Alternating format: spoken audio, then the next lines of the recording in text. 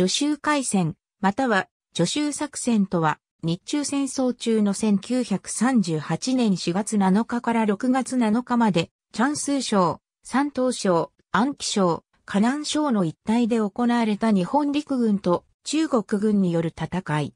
日本軍は南北から侵攻し、5月19日に助州を占領したが、国民党軍主力を包囲撃滅することはできなかった。1937年12月の南京攻略後、日本政府は1938年1月16日に国民政府を大使とせずとの声明を発表し、戦争終結の糸口を失っていた。日本はすでに多くの兵力を動員していたため、国力を蓄える必要があった。そのため、参謀本部では1938年夏までは新作戦を行わないという方針を固め、2月16日の午前会議で天皇の承認を得た。一方、黄河の線まで到達していた北品方面軍と南京占領後停止していた中品派遣軍は、通羅線を打ち通しして、南北の占領地域をつなげることを要望していたが、参謀本部には認められていなかった。参謀本部の方針は、1938年内は作戦を休止して国力を蓄積し、1939年以降から大作戦を行うという長期持久構想だった。現地軍はこの消極的な方針に不満を持っており、参謀本部の川辺虎四郎作戦課長は現地に赴いて説得に努めたが納得を得られなかった。川辺は帰郷直後の3月1日に更迭され、後任には稲田正純中佐がついた。稲田中佐は現地軍をコントロールするためには積極的な作戦が必要だと考えていた。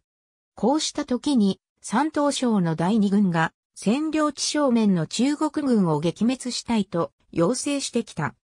参謀本部はこれを認可したが、第10師団と第5師団の一部部隊が山東省最南部の大地層に進出したところ、中国軍の大部隊に包囲されて苦戦、撤退するという事態に至った。中国軍は第五戦区司令長官理想認識のもとに、野戦軍約40万から50万人の大兵力を助州付近に集結させていた。助州は、通浦線と老海線の交差する地点で勝山東、河南、安徽、チャンス4省の戦略、交通上の要衝である。第一層は、その助州防衛の第一線で、中央直径の第20軍団も投入されていた。大地層の戦い後には、第五戦区軍の兵力は増援を受けて60万人にまで拡充された。日本陸軍内では、この後期を捉えて国民党軍主力を包囲撃滅しようという意見が高まった。4月7日、大本営は、助州付近の敵を撃破することを、北品方面軍、中品派遣軍に命じ、不拡大方針は2が月足らずで放棄された。参謀本部作戦部長橋本軍少将らが大本営から派遣され、両軍を作戦指導することになったが、作戦会議では、助州の攻略と敵の包囲撃滅どちらを優先するかで一件が対立した。大本営派遣班は助州攻略に同調したが、結局明確な判決を出さないまま作戦は開始された。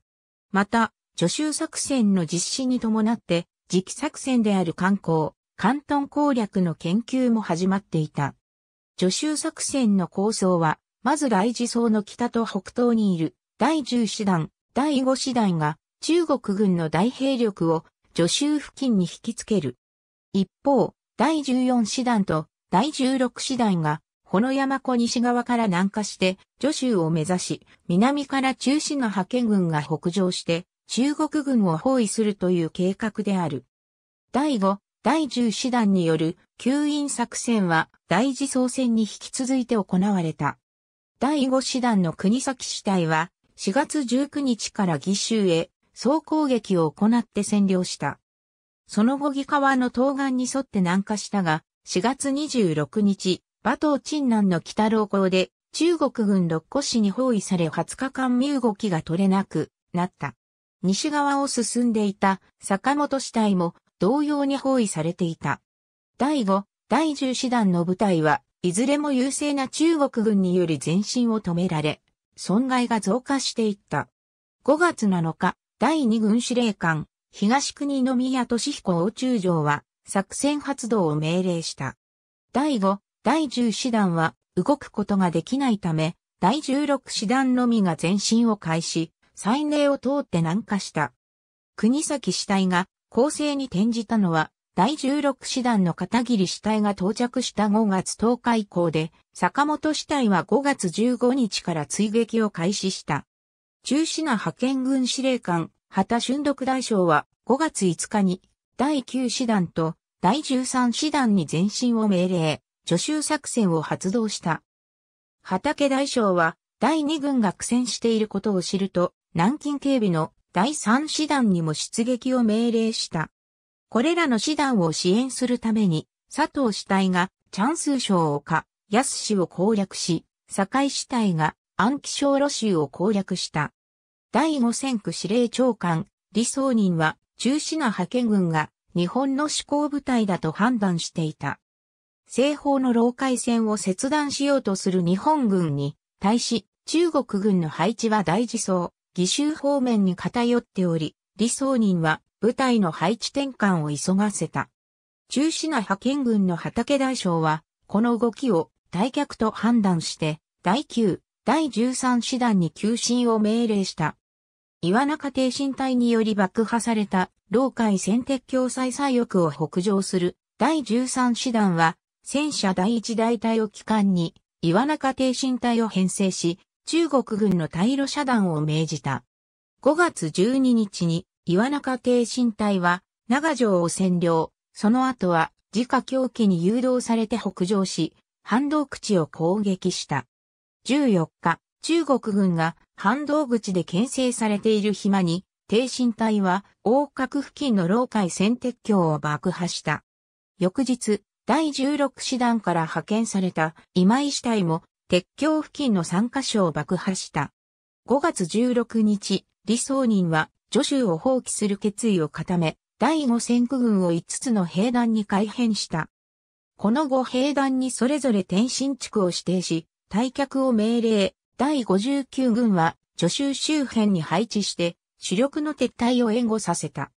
中国軍主力は助手から南東に向かってチャンスー省北部の故障地帯に退却した後、日本軍の包囲網を突破して西方に脱出した。躊躇せず助手を放棄したことにより、損害は上海南京線のような全面的改装に比べ、はるかに少なく済んだ。第13師団は他の師団以上の速度で強行軍を続け、5月17日、不評第65連隊は、助手西南西の覇王山を吸収し山頂を奪取した。18日、第3師団は、宿県を攻撃し、第9師団は、証券の第180市を配送させた。5月19日、不評第65連隊と岩中戦車隊は無人となった市街に突入し、助手一番乗りを果たした。5月25日、北品方面軍司令官、寺内俊一大将と中品派遣軍司令官、畑春六大将が揃って助手入場式を行った。中国軍主力を取り逃がした日本軍はその後追撃態勢に入った。助手作戦の戦闘経過と、甲賀反乱地域作戦前、第一軍司令官、勝木中将は、武漢作戦に備える意味で、河南省の開封占領を主張していたが、北品方面軍に反対されたため開封より、東の蘭風に目標を抑えていた。作戦開始後、第14師団の甲賀とかを援護する予定だった、堺市隊は、突如、第2軍に配属され、第16師団の援護に転用されてしまった。方面軍司令部によるこの措置に第1軍司令部は驚愕したが、5月12日、第14師団は独力で黄河を渡り、蘭風を目指した。北品方面軍は再三にわたり、第14師団を既得へ投進させるよう命令を出したが、かねてから方面軍司令部の統率に不満を募らせていた第一軍司令部はこれを拒絶し続けた。5月19日、助州が攻略され、中国軍主力は脱出したことがわかると、日本軍は追撃に移り、第一軍の乱風攻撃が認められた。ところが、内機の第14師団では補給船が攻撃にさらされて、食料、弾薬が不足していた。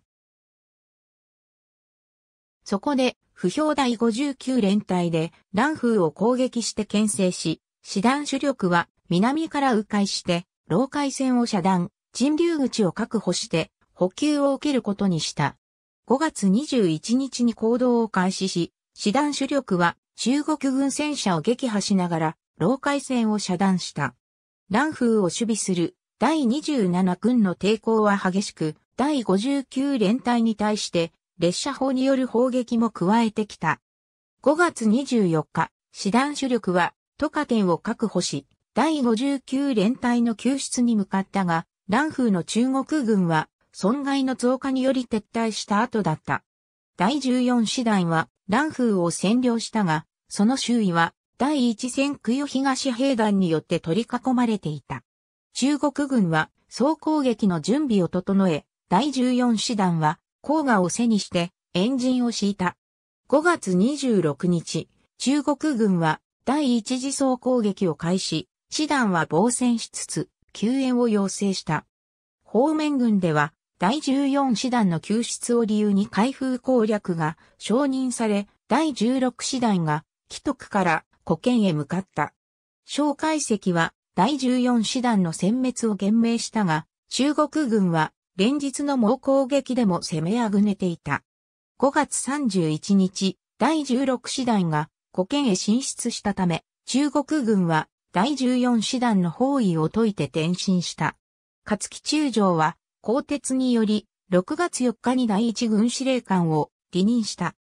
反乱地帯で作戦中の中国兵大本営は、作戦の制限ラインを乱風までと定めていたが、6月2日、北品方面軍はその線を越えた西方への追撃作戦を命令した。第14師団は開封、中房、第16師団は医師へ向かって精神を開始した。中国軍第一戦区の主力はすでに軽、艦船異性への撤退を急いでいた。しかし、このまま軽艦船の用地に日本軍がたどり着きまっすぐ南下すれば、観光が脅威にさらされる。そこで、第一戦区副司令、劉祖馬は司令長官ほど戦に対し、甲賀反乱によって日本軍の動きを止めることを進言した。6月4日、小解析の承認を得ると、中房北方の三流祭付近に部隊を送り堤防、爆破の準備に取り掛かった。第14師団は6月5日に開封を占領、一部の追撃隊は6月7日に中房を占領した。この日の夜、中国軍は堤防を爆破したが効果は反乱しなかった。このため、さらに、西方の京水鎮付近、花園口堤防を6月9日に爆破したが、これも効果なしと見られた。しかし6月11日、未明からの大雨で黄河は増水し、夜には三流祭の破壊口から濁流が溢れ出した。厨房に進出していた第27旅団や医師の第16師団は浸水により孤立した。このため、第2軍司令部が公兵隊を派遣し、部隊は撤収により救助された。また、公兵部隊は堤防の修理や住民の救助にも当たった。流水は南方の近い江口まで達していたが、6月17日には冠水地域が減少し始めた。まだ本格的な雨季に入っておらず、11日の雨で一時的には氾濫したが、その後は晴天が続いたため暑さで水が蒸発してしまった。徐州まで浸水させ、日本が通羅線を使えなくなることを期待していた中国側にとってその軍事的な効果は小さかったが、日本軍の前進を食い止めることには成功した。6月17日、第2軍司令部は第10師団、第14師団、第16師団に後方集結を命令した。参謀本部の堀場和夫少佐は、中央の統制が現地に及ばないまま作戦が拡大していくことを危惧していたが、黄河の反乱という形で、助手作戦は打ち切られた。助手作戦の結果、津浦線の打ち通しによって、日本軍は南北の連絡が可能となり、老海線の開封意図も確保した。また、中国側の大自走の勝利という古代宣伝にも打撃を与えることができた。しかし、包囲殲滅という目標は達成できなかった。大本営は第13師団の暴走により包囲網が崩れたと評したが、作戦目的には曖昧さが残っていた。日本軍の兵力は中国側のおよそ3分の1であり、広大な戦場で包囲作戦を行うには兵力が足りなかった。助手作戦における日本軍の全体的な損害は不明であるが、2月から5月までの戦死者は2130人、負傷8586人だった。また、6月29日に、助州で行われた合同慰霊祭では、第二軍の戦没者7452柱が弔われている。日本軍の推定では、中国軍兵力の約1割を撃滅したとしている。小解析は、助州に兵力を集結させ、そこへ日本軍を引き付けさせることで、武漢防衛の時間を稼ごうとしていた。黄河の決壊で日本軍の追撃が止まった頃、小解析は武漢にある政府機関や大学などを奥地の重慶や昆明へ避難させるよう指示した。大本営は助手作戦の頃から観光の攻略を予期しており、6月15日の午前会議で武漢作戦と関東作戦への着手が正式に決定された。ありがとうございます。